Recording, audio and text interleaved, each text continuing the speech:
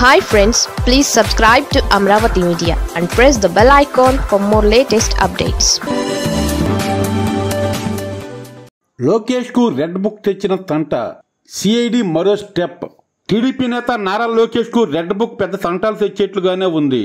తాజాగా పోలపల్లిలో జరిగిన యుగళ ముగింపు సభలో రెడ్ బుక్తో నారా లోకేష్ కనిపించారు. వైసీపీ ప్రభుత్వ హయాంలో టీడీపీ నేతల్ని కార్యకర్తల్ని వేధించిన వారి పేర్లను ఇందులో రాస్తున్నానని తమ ప్రభుత్వం అధికారంలోకి రాగానే వారి సంగతి తెలుస్తామంటూ హెచ్చరికలు జారీ చేశారు. దీనిపై సిఐడి గుర్రుగా ఉంది.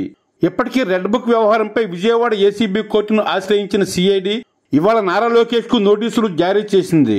టీడీపీ నేతలు కార్యకర్తలపై సిఐడి వేధింపులు కొనసాగుతున్నాయంటూ రెండేళ్ళ క్రితమే నారా లోకేష్ రెడ్ బుక్ ప్రస్తావన తెచ్చారు. టీడీపీ వారిని వేధిస్తున్న అధికారుల పేర్లు రెడ్ బుక్లో రాస్తున్నట్లు ప్రకటించారు. అధికారంలోకి వచ్చాక వారిపై చర్యలు ఉంటాయని హెచ్చరికలు జారీ చేశారు. అప్పటి నుంచి ఈ రెడ్ బుక్ పలుమార్లు తెరపైకి వచ్చింది. తాజాగా యువగళం సభలో లోకేష్ మరోసారి రెడ్ బుక్ ప్రస్తావన చేయడంతో సిఐడి అధికారులు కోర్టును ఆశ్రయించారు. రెడ్ బుక్ పేరుతో లోకేష్ తమను బెదిరిస్తున్నాడంటూ సిఐడి అధికారులు విజయవాడ ఏసీబీ కోర్టుకు తెలిపారు. ఈ వ్యవహారంలో ఆయనను అరెస్ట్ చేసేందుకు అనుమతి ఇవ్వాలని కోరారు.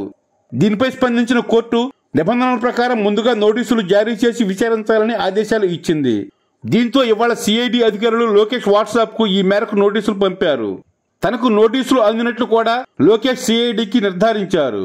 మరోవైపు లోకేష్ను రెడ్ బుక్ కేసులో విచారించేందుకు సిఐడి నోటీసులు జారీ చేసినా వెంటనే విచారణ జరిగే అవకాశాలు లేనట్లుగా తెలుస్తోంది. దీనికి కారణం విజయవాడ ఏసీబీ కోర్టులో ఈ కేసు తదుపరి విచారణను జనవరి తొమ్మిదవ తేదీకి వాయిదా వేయడమే.